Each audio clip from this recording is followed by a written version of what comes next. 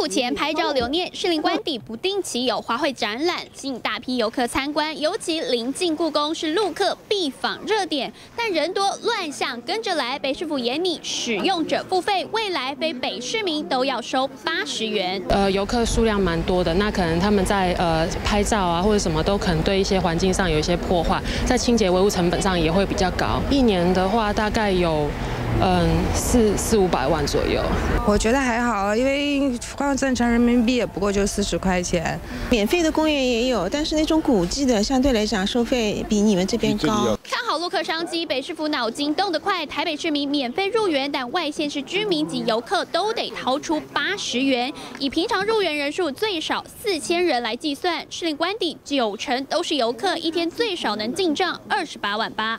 我想使用者付费吧。啊，这个地方。是台北是留了很有价值的地方，啊，让台湾全省的所有的台湾的人可以来这边共享。收费标准，民众有两面看法。其实士林官邸镇馆也有不同的收费方式。台北市民只要一个铜板五十元，但一般民众或游客价钱翻倍，要拿出一张百元钞。Go go go go go！市民游客不同价，在猫缆也看得到。台北市民以次来计算，一次五十元，但非市民或是观光客，光是一站就要七十块钱。算准台湾的观光人潮，台北市又是首都，游客必访，是否捞钱不手软，抢攻观光客商机？记者林伟、庄丁轩台北报道。